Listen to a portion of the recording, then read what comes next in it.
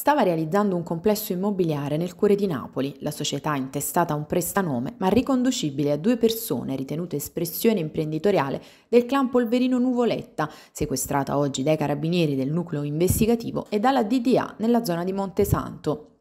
In assenza di autorizzazione sismica e in difformità al progetto presentato, nel cantiere a cui sono stati apposti i sigilli erano in corso i lavori per la costruzione di 12 mini appartamenti su due livelli per un'estensione complessiva di circa 800 metri quadrati, un progetto da circa 3 milioni di euro.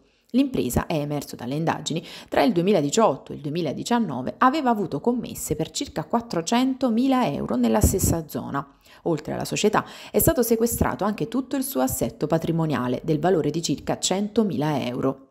A Marano, in provincia di Napoli, in esecuzione di un provvedimento emesso dal GIP di Napoli su richiesta della Procura antimafia, i carabinieri del comando provinciale hanno arrestato le tre persone coinvolte. Per due è stato disposto il carcere e per uno i domiciliari. Sono accusati di trasferimento fraudolento di beni aggravato dal metodo mafioso.